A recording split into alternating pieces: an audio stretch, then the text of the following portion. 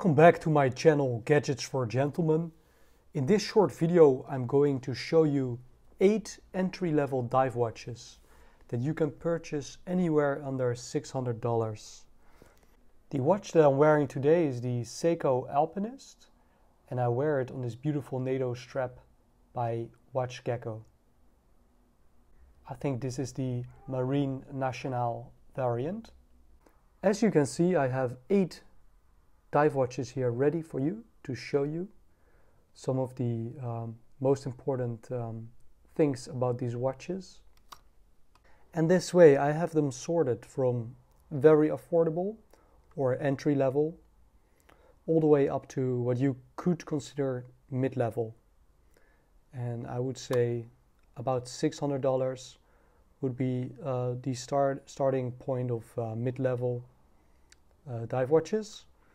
So here on the left, we're starting with entry-level watches.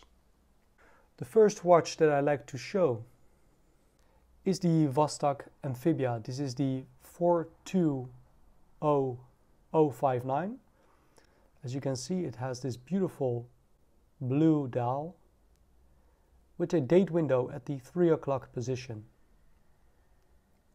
Applied hour markers, a red second hand, and a very remarkable bezel as you can see here. So no numbers or nothing, just red and black. This watch has a in-house movement by Vostok, which is a uh, Russian company. And this movement is called the 2416. It has 31 jewels, a power reserve of 31 hours, and it runs on a uh, frequency of 19,800 beat per hour. The movement has accuracy of minus 20 to plus 60 seconds a day. Uh, the movement allows you to hand wind the movement.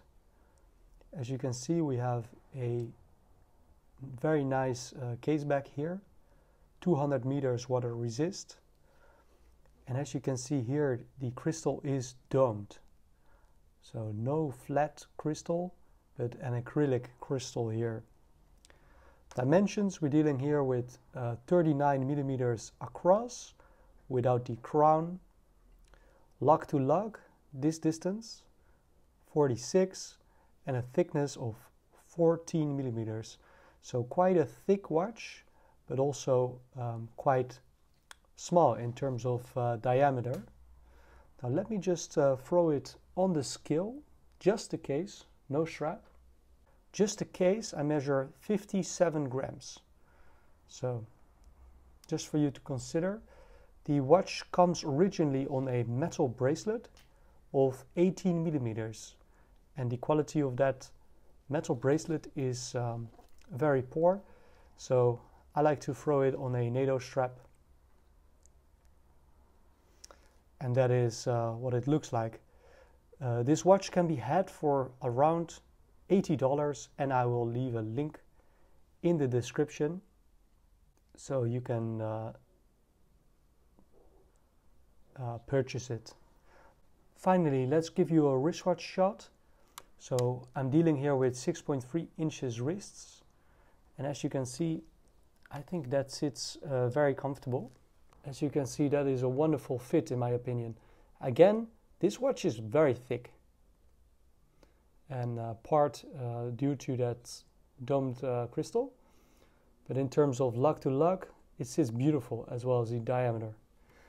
So up next we have the Invicta Pro Diver 8926OB. This watch uh, originally comes on a very uh, poor uh, metal bracelet in my opinion.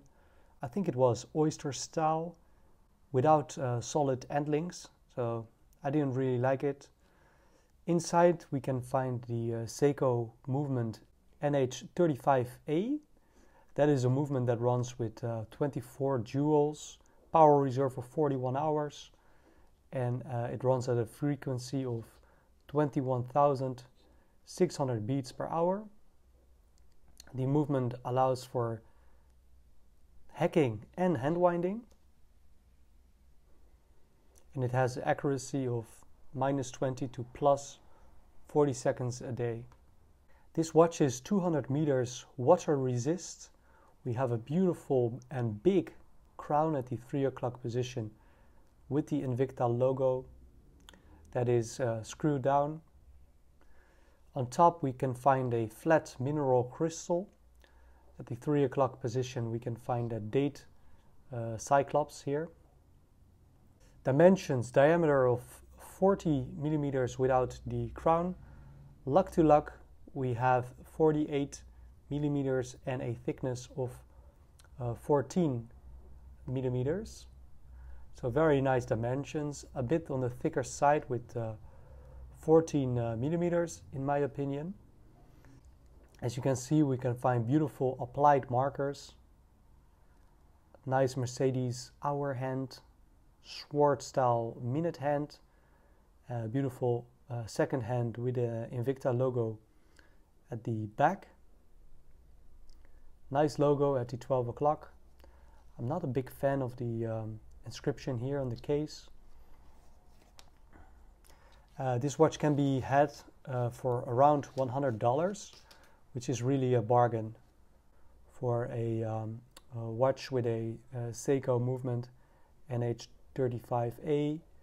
Um, all in all, I think a beautiful, beautiful watch. Looks uh, very similar to the Rolex Submariner. We have a very nice um, bezel, pretty good action as well, lines up nicely. So let me toss it on the scale. So we're dealing with 73 grams, which is quite a bit heavier than the um, Russian watch, the um, Vostok. Now let me also demonstrate the fit of the uh, Invicta uh, Pro Diver here. I think this sits beautifully and it really follows the uh, size of the older Rolex Submariners. Very, very nice profile. So this is what it looks like on my 6.3 inches. As you can see, quite a bit thick. The um, case does not really curve down. It's pretty straight, this oyster style case. But I really like this fit and I think it's perfect. I really like this watch. Um, especially as a two watch because it's very affordable and reliable. So if you don't want to break the bank, this is a very nice entry level dive watch that is not as iconic as some of the Seiko divers because it does feel a bit like the uh, Rolex homage. Now let's proceed with the next one and let me just throw it back on the NATO. Also this watch I threw on a NATO because I did not like the uh, metal bracelet. Of course, you can also wear it on a rubber strap or an aftermarket metal bracelet. Now let's proceed here with the Orient Ray 2. Uh, this watch originally, originally comes either on a 22 millimeter rubber strap or a 22 millimeter uh, metal bracelet. Um, I'm not a big fan of um, any of those, so I usually just wear it on this uh, very nice NATO strap Zulu diver. The watch has a in-house movement, the F6922, 22 jewels, power reserve of 40 hours, 21,600 beats per hour. It allows for uh, hacking and hand winding. The only downside here is uh, the crown with that beautiful um, inscription. It is very small, so if you do want to hand wind, sometimes it is a bit hard to grab and to screw back in again. That's the only downside here. Accuracy of uh, somewhere between minus 15 to plus 25 seconds a day. Um, big uh, selling point here is, I think, uh, the beautiful dial with that Orient logo here at the 12 o'clock position. Um, beautiful applied hour markers.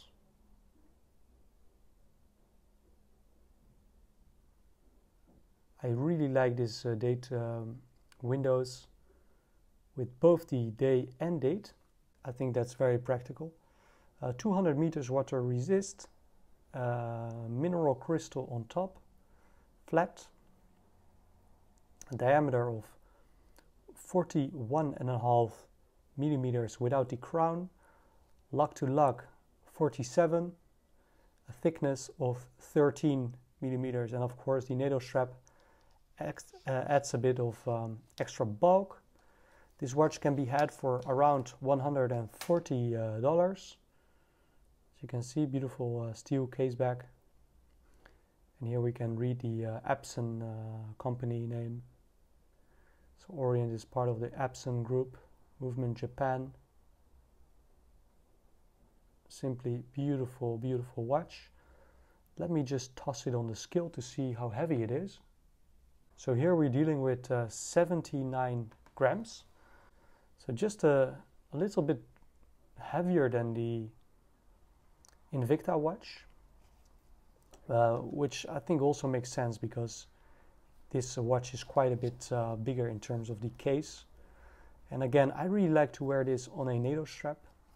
I think it just uh, looks beautiful and uh, plenty of options. So this is a truly a very nice watch for your collection. Orient Ray 2, I have it on this beautiful Zulu Diver NATO strap, 22 millimeters, I think Admiral Gray. And as you can see, this Orient is um, um, slightly bigger to most of my compared to most of my watches, but I think I do get away with it thanks to that um, lug to lug distance. Is just just uh, between the um, length of my wrists. So I think I can get away with it. And as you can see I think it looks beautiful. Now let's proceed with uh, one of my favorite watches. Uh, and as you can see the, there is some scratches on this uh, uh, crystal because I've been wearing this watch a lot. So one of my favorite watches in the collection, this is the Citizen NY0040. This one has the uh, black dial, a very uh, glossy black dial, beautiful. Uh, it also comes with a very nice glossy blue dial, uh, a bit of sunburst. This watch has a beautiful automatic in-house movement uh, by Miyota, the 8200, 21 jewels, power reserve of 50, uh, four, uh, 45 hours, frequency of uh, 21,600 beats per hour. Uh, it allows for uh, hand winding, but not hacking. And the movement has accuracy of somewhere between minus 20 to plus 40 seconds a day 200 meters of uh, water resist. As you can see, it has a flat mineral crystal, beautiful, beautiful bezel with these very big and sturdy grooves. Not all around, but at certain points, you can see these very nice, uh, sturdy teeth. And it has a beautiful date window with both the day and date. And I really like the fact that the background of the date window is black. So this really kind of blends in with the dial. We're dealing with a diameter of 42 millimeters across without the crown. Lock to lock distance uh, 48 millimeters and we have a thickness of 12 millimeters. So that's quite a bit uh, thinner compared to both the uh, Vostok, Invicta, and Orient. Uh, we can find beautiful applied uh, hour markers. All in all, I'm a big fan of this watch. I think it's beautiful. Uh, we can see that the crown is situated at the 8 o'clock position. That is also very uh, uh, different from uh, most of your dive watches, which are either based at the 3 o'clock position or the 4 o'clock position. This watch has been used in the past by the Italian Navy. It was called the uh, Marina Militare. And uh, yeah, it, it, it passed many of their uh, sturdy tests. So truly a watch with um, a, a legacy. So this is part of the uh, ProMaster line and this is one of their automatic watches. These days they also do um, watches, I think with um, with an Eco Drive uh, system. So all in all, I think a beautiful watch. It can be had for somewhere around 260 US dollars. Uh, let me throw it on the scale. 76 grams. I think that is similar to the Invicta. Um, this watch uh, comes on a 20 millimeter uh, silicon strap, uh, which is not bad, uh, but it is a bit uh, sturdy. And as you can see here, I love to wear it on a NATO strap. Um, this is a seat belt NATO by Watch Gecko. Really like this one. Now let me throw it back. As you can see, I think it, it wears rather nicely on this beautiful uh, seatbelt NATO.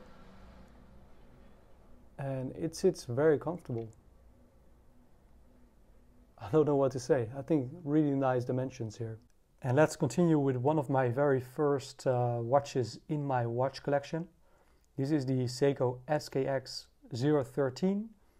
It uh, comes either on a beautiful uh, 20 millimeter metal bracelet uh, that is a bit uh, Jubilee styled, or it comes on a rubber strap depending on the uh, reference um, you, purchase.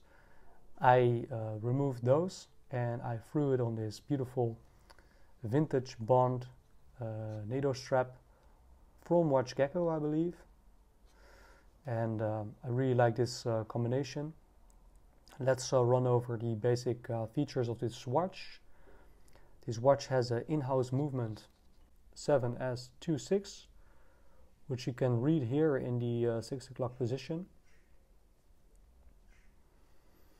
The watch has uh, 21 jewels, frequency 21,600 beats per hour, power reserve of 41 hours, no hacking and no um, hand winding. So uh, a bit of a limited um, movement, if you ask me, but truly very uh, reliable. It has been around for a long time. Beautiful cutout here at the three o'clock position uh, with both the day and date. And as you can see, the way they went for this uh, cutout, it um, really blends in with the dial in the same position as the uh, nine o'clock uh, hour marker. Accuracy somewhere between minus 20 to plus 49 seconds a day. 200 meters uh, water resist. ISO certified. It has the uh, Seiko um, hardened mineral crystal, which is called the uh, Hardlex. And what I really like about this watch is uh, the, the shape of this bezel. I really like this uh, pattern, this structure. I like the uh, crown at the 4 o'clock position. And maybe the best part about this watch, in my opinion, is the um, dimensions. We have uh, a very small uh, profile with 38 millimeters across without the crown, a lock to lock of only 43 millimeters and a thickness of uh, 30 millimeters. And of course, this NATO uh, does add a little bit of bulk. And as you can see here, um, Seiko also did not forget the uh, case back, and they made this beautiful um, case back with a beautiful logo. Um, here again we can read the 7S26 movement, very chunky uh, spring bars. So this is a no nonsense uh, dive watch. Really like the bezel. I think it's beautiful. And I was lucky with this one because um, I think it does align pretty well. And in the past, I used to own the uh, Seiko SKX uh, 007, and that was uh, misaligned like everywhere. And this one is pretty neat. So this watch retails for about uh, $330. Uh, Let me throw it on the scale.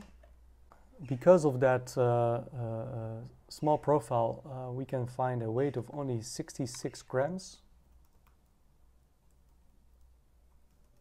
So that is very comfortable, especially on the smaller wrist. Let me demonstrate. My wrists uh, measure 6.3 inches.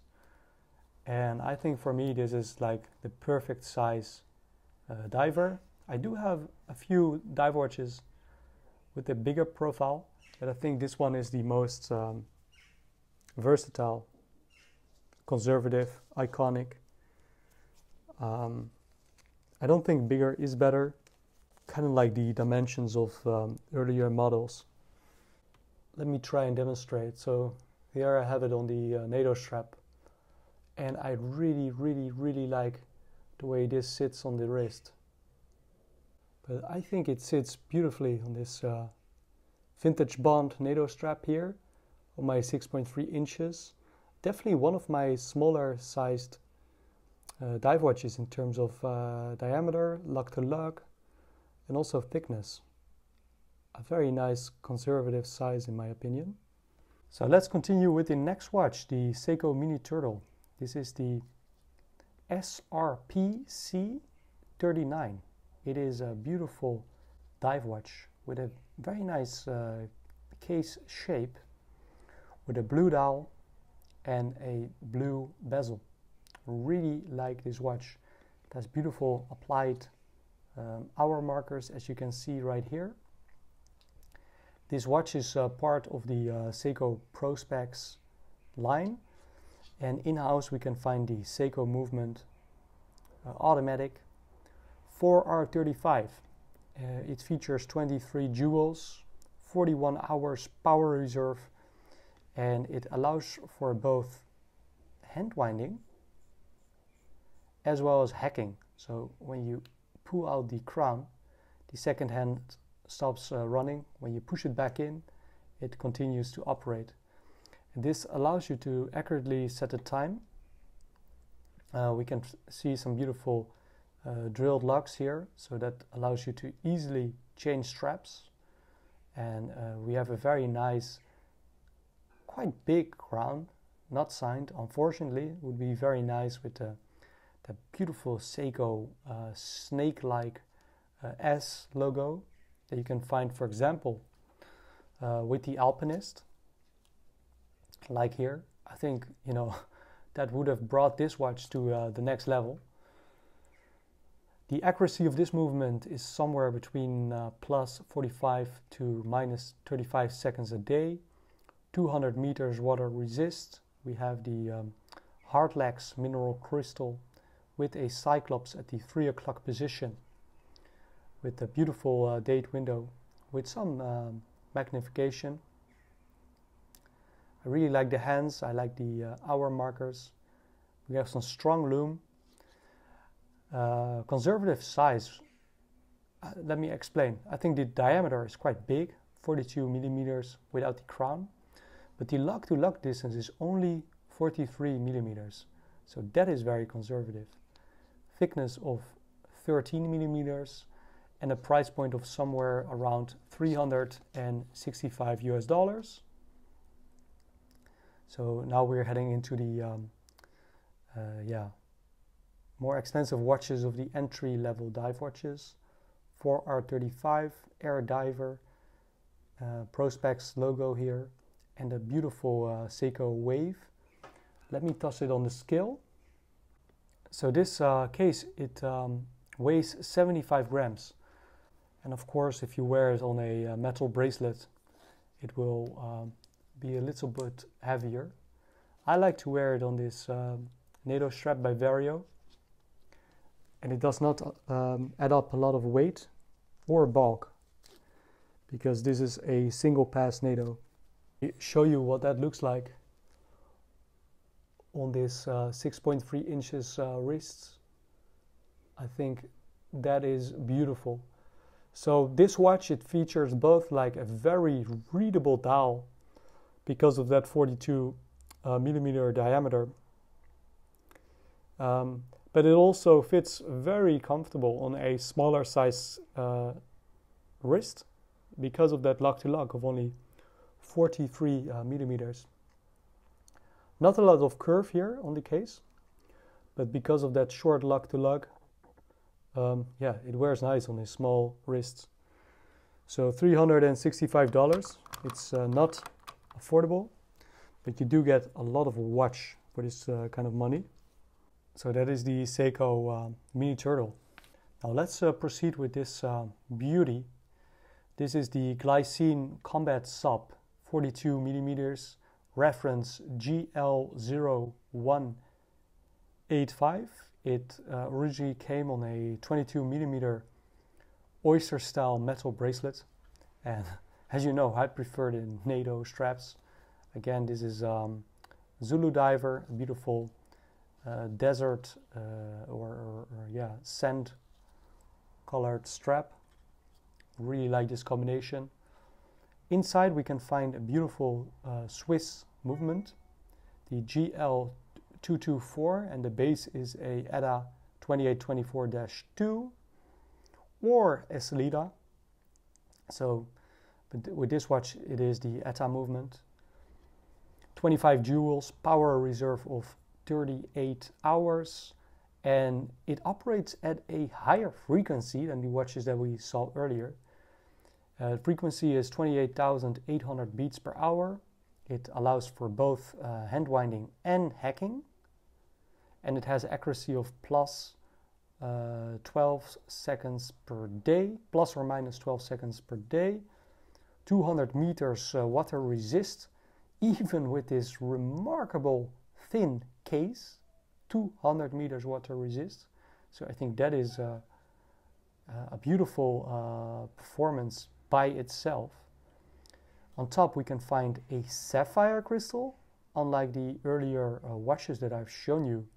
Sapphire with AR coating. Dimensions 42 millimeters across, lug to lug very, very long, much longer than all the watches that we saw earlier.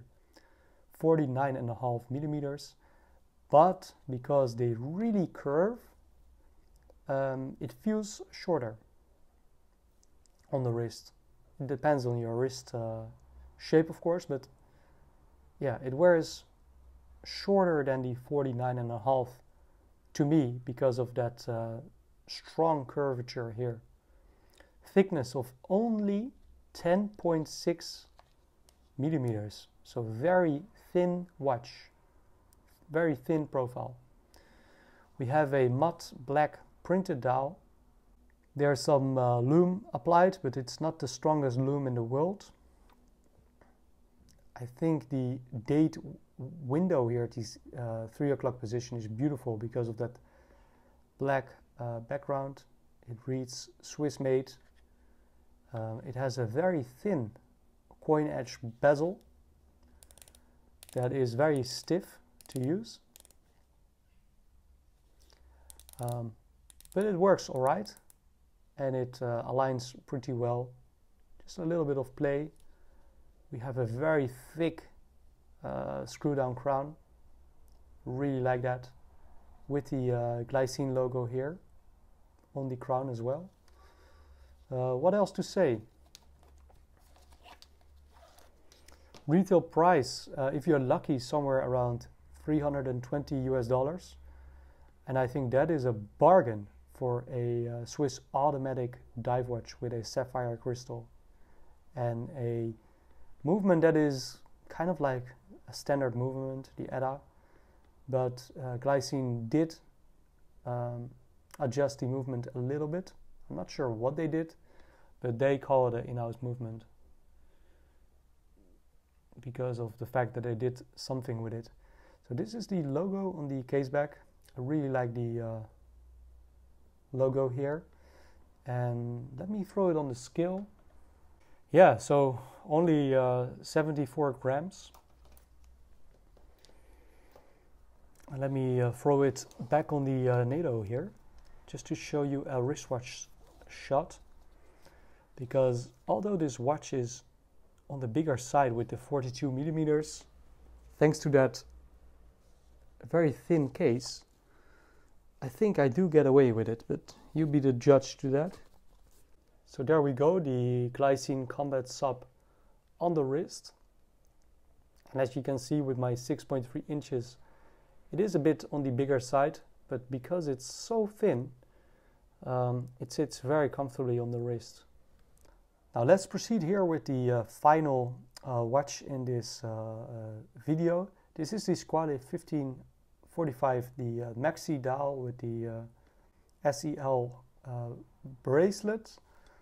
It comes on a beautiful 20 millimeter metal bracelet, but again, I prefer the NATO strap, especially in summer. In this watch, we can find the ETA movement 2824-2, which is you know very similar to the glycine.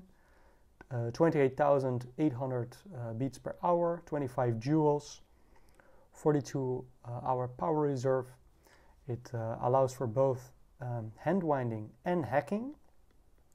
Accuracy of plus, uh, minus, uh, 12 seconds a day up to plus minus 30 seconds a day. So there's a bit of um, um, variance there. Uh, 200 meters water resist, sapphire crystal on top with AR coating, and we can find that uh, date uh, magnification here at the 3 o'clock position. A, a, white background here, and very uh, conservative dimensions of 40 millimeters across without the crown, lug to lug uh, 48 uh, millimeters and a thickness of 13 uh, millimeters. So all in all, uh, very um, similar dimensions to the Invicta watch that I showed you earlier on. The price is uh, $570 and what, what really makes this watch stand out I think is the, um, the heritage of the uh, Squale brand. What also makes it really stand out is those big, huge hour markers uh, let's compare it here with the uh, Invicta. You can see that the Squale hour markers are almost double size. Uh, but unlike the Invicta, this dial is printed. So unfortunately, uh, no applied hour markers. Um, the uh, insert here of this bezel is uh, ceramic. So that is something I think very beautiful and the ceramic allows the bezel to stay uh, pristine for a very long time. So this is really a timeless watch. Now let me show you the back of this watch. And as you can see from the NATO strap, I think this is yeah, one of my favorite beater watches. I take it to the beach, to the pools, um, here we can see sapphire crystal, Swiss made, 20 meters, 20 atmosphere, 200 meters, and um, 1545 with that Squale logo. Uh, you can see a shark. Um, simply, I think, a beautiful watch. Um, bezel is very easy to uh, operate. It's not too stiff, not too loose either beautiful Mercedes hand, sword hand style, nice second hand with that uh, lollipop. And I think the dial is just simply uh, beautiful. I think it's very balanced. Now let me throw it on the scale. So the case, it uh, weighs uh, 79, 79 grams. And finally, let's uh, show you what it looks like on the wrist.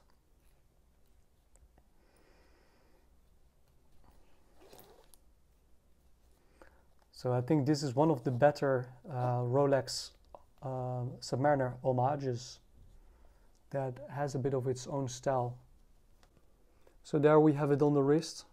I really like the look of that uh, ceramic uh, bezel insert.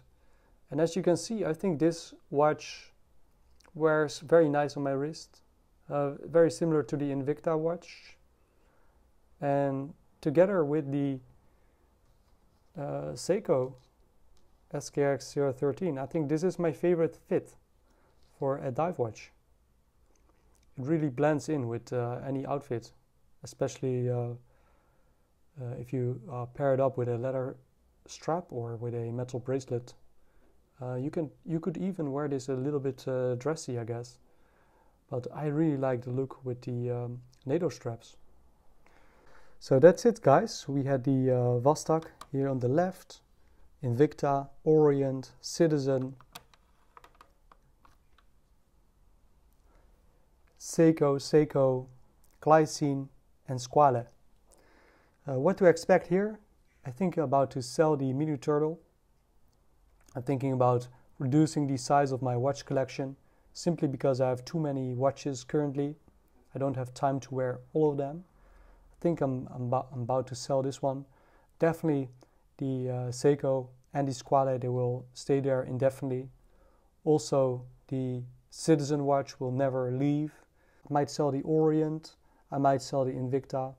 Probably Vostok I will also keep.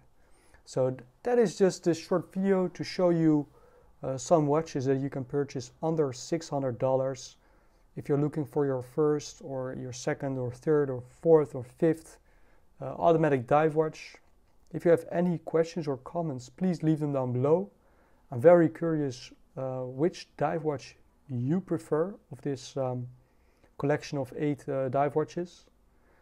Um, and let me know why you think uh, a certain dive watch is the best. Um, I look forward to hearing from you. Have a wonderful day and see you soon.